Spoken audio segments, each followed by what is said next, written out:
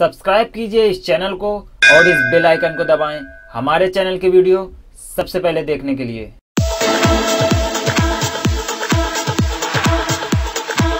अक्षय कुमार बॉलीवुड के एक ऐसे एक्टर हैं जो कि न केवल अपनी फ़िल्मों में बल्कि असल ज़िंदगी में भी एक हीरो हैं। आपको यह सुनकर हैरानी ज़रूर होगी, लेकिन एक बार बॉलीवुड के खिलाड़ी अक्षय कुमार ने अपनी जान और खेल कर ऐश्वर्या राय की जान बचाई थी इस बात का खुलासा और किसी ने नहीं, बल्कि ऐश्वर्या राय ने खुद किया था।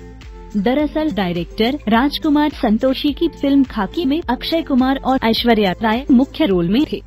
एक बार शूटिंग के दौरान सेट पर एक हादसा हुआ, जिसमें अक्षय ने अपनी जान की परवाह न करते हुए ऐश्वर्या राय की जान को बचाया था। यह हादसा उस समय हुआ था जब डायरेक्टर राजकुमार संतोषी एक लोकेशन पर फ़िल्म की शूटिंग कर रहे थे।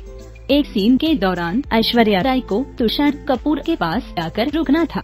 लेकिन गाड़ी के ड्राइवर ने जैसे ही गाड़ी की स्पीड को तेज किया, उस गाड़ी का बैलेंस बिगड़ गया और गाड़ी तेज़ी से ऐश्वर्या की ओर बढ़ने लगी। वही बगल में खड़े अक्षय कुमार अपनी जान की परवाह न करते हुए ऐश्वर्या राय को बचाने के लिए दौड़े। लेकिन जब तक वह ऐश्वर्या के पास पहुँचे, तब तक जीत ने ऐश्वर्या को टक्कर मार दी थी।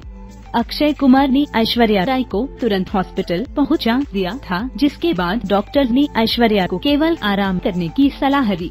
इसके कई दिनों बाद ऐश्वर्या फ़िल्म की शूटिंग पर लौटी थी।